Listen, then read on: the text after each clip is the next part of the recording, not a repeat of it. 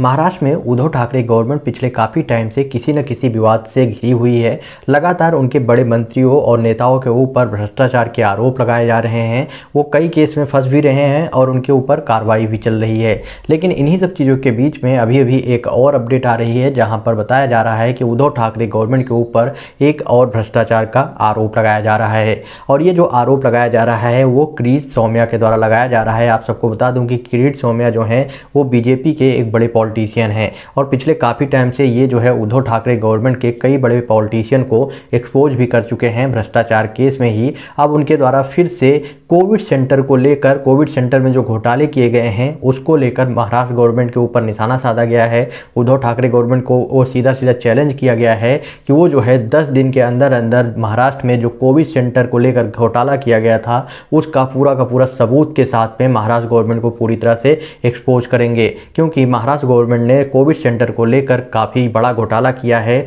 और इसमें जो है, लोगों को डरा धमका काफ़ी लोगों से पैसा भी वसूला जा रहा है। इस तरह का आरोप जो है जो है वो क्रीज सौम्या के द्वारा लगाया जा रहा है, जो कि एक बीजेपी के पॉलिटिशियन है।